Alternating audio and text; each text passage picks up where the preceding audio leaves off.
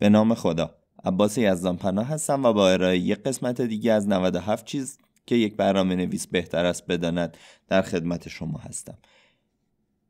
قانون دسته پیشاهنگی. قانون دسته پیشاهنگی میگه که همیشه محل کمپ خودتون رو تمیزتر از زمانی که واردش شدید ترک کنید. و پایه‌گذار دسته های پیشاهنگی میگه که دنیا رو یه ذره بهتر از اون چیزی که شما اونو پیدا کردید ترک کنید. و سعی کنید همه چی رو یک ذره بهتر کنید. حالا اگه بخوایم این قانون رو برای کدها تطبیق بدیم می‌تونیم می‌تونیم بگیم که سعی کنیم یک ماژول رو تمیزتر از وقتی که کارمون رو روش شروع کردیم تحویل بدیم. خب اگه هممون از این قانون استفاده کنیم یه سری اتفاق خوب میفته اول اینکه کاهش کیفیت کد با پیر شدن کد رو نداریم. یعنی اینکه خیلی راحت اتفاق میفته توی شرکت ها که کد که قدیمی میشه کیفیتش روز به روز کمتر میشه. نکته دوم اینکه کدمون کم کم بهتر میشه به جای اینکه بدتر بشه. و در مجموع تیم برای کل کاری که تیم انجام میده کدهایی که تیم می‌نویسه ارزش قائله. نه فقط برای کدی که خود اون فرد نوشته. خب در عمل چی کار کنیم؟ اول یادمون باشه که این تقاضا یک تقاضای بزرگ نیست. یعنی اینکه همه ما می‌تونیم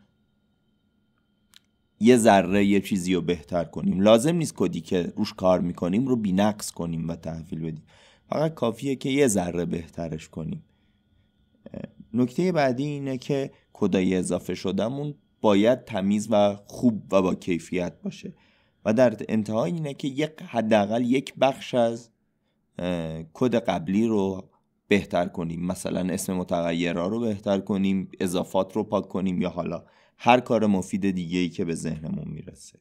و در آخر اینکه این کاری که ما انجام میدیم شبیه یک مسئولیت اجتماعیه اهمیت, اهمیت دادن به کدی که خودمون می نویسیم یک بخش از این ماجراست اهمیت دادن به کدی که بقیه می نویسن یک بخش مهمتری از این ماجراست و تیم ها توی این روش به همدیگه کمک می‌کنن با همدیگه همکاری می‌کنن که کد همدیگه رو بهتر کنن.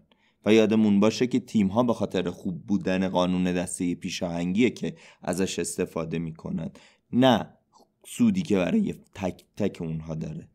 خیلی ممنون که به یک قسمت دیگه از این مجموعه گوش دادید. خدا نگهدار.